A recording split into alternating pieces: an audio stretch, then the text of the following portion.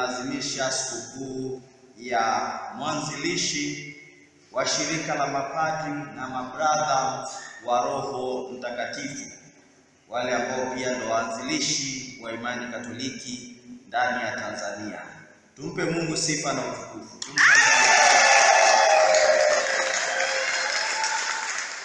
Na kwa namna hiyo basi, naomba niwatakie ndugu zangu wa spiritual wote happy feast.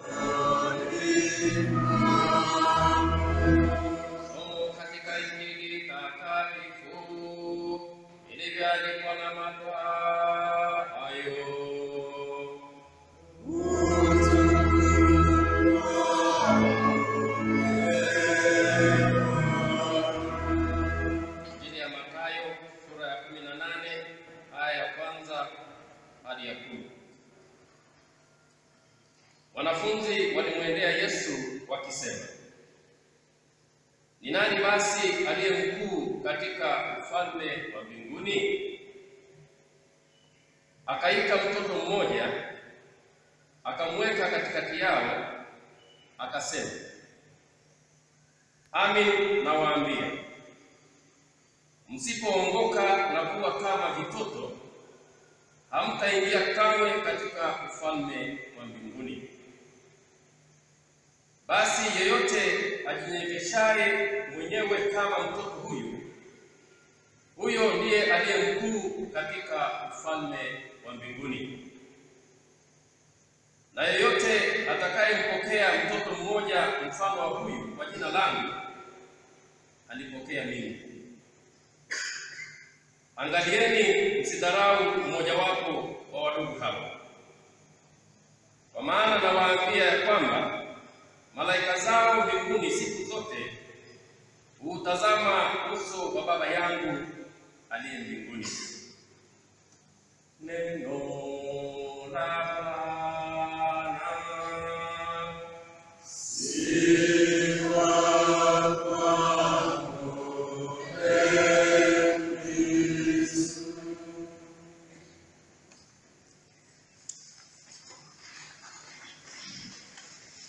My beloved confrere, today is 2nd of October, and as per tradition, we gather together as a family to celebrate the life of our beloved founder, Father Claude.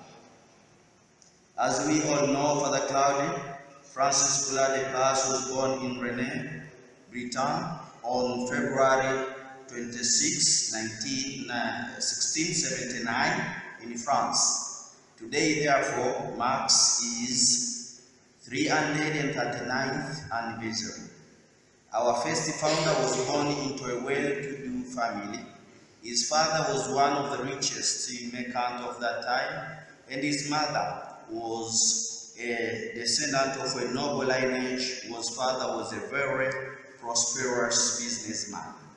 Despite being a business family, Claudia, Claude's parents were very pious and devoted Catholics. This background developed into a young Claude the thought of becoming a priest. Father Claude Poullart des Places, at a tender age, demonstrated exceptional intelligence and charming personality. Satisfied with these exceptional personalities, Father Claude's father was convinced that his son would inherit his properties, but in contrary to Claude's early thoughts of becoming a priest. At the age of 12, the young Claude had already completed his classical studies. At this age, he could be permitted to pursue philosophy so as to realize his dream of becoming a priest. Instead, his parents sent him to school of law, where he pursued law with intention of seeing their child becoming a lawyer in the parliament. As an assurance of this noble position, Claude's parents arranged their son's marriage to one of the prince's ladies in waiting. But young Claude turned down all these arrangements and went back to his original intention of becoming a priest.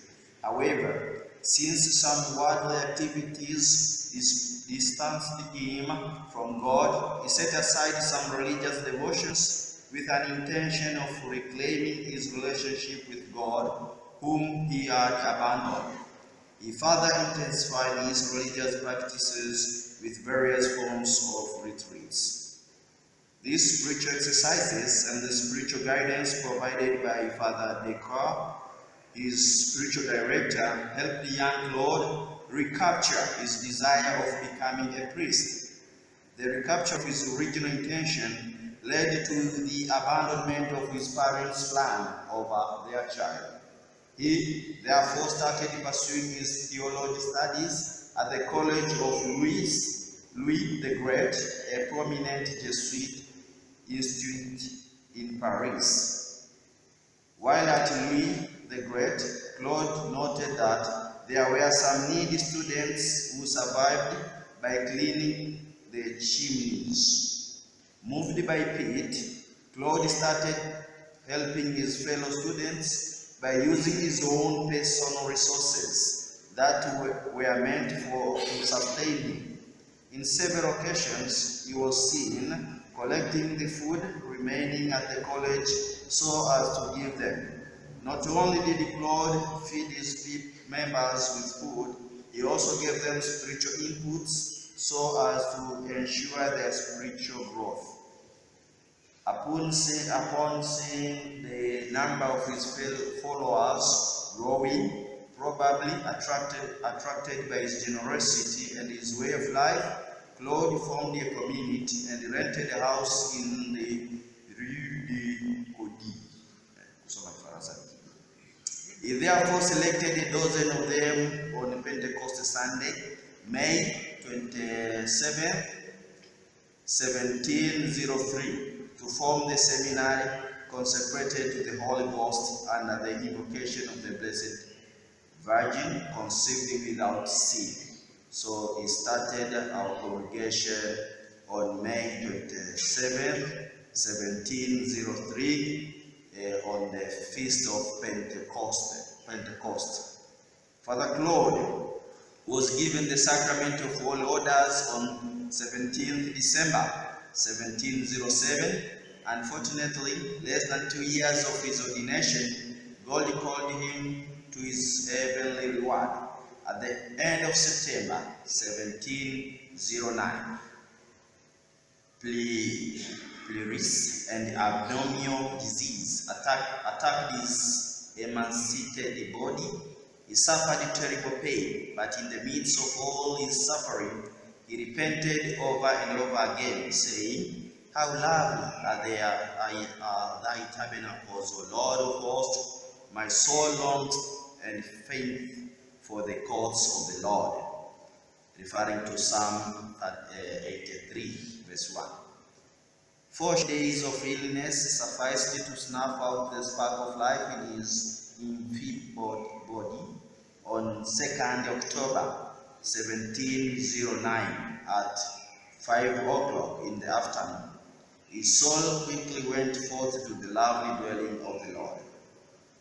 My fellow brothers, having heard the brief life history of our beloved first founder, what we do learn from his life, as for me, I would say that Father Claude Francis Poullart des Places teaches us the simplicity of life, the spirit of availability, and the love for the poor. In short, these are the main three pillars where our congregation stands on. You and I are called to live these pillars in our various forms of ministries. Living these pillars is the greatest gratitude we can give our first beloved founder, let alone to Christ, whom our founder followed intimately. Tumsifu Yesu Kristo. Thank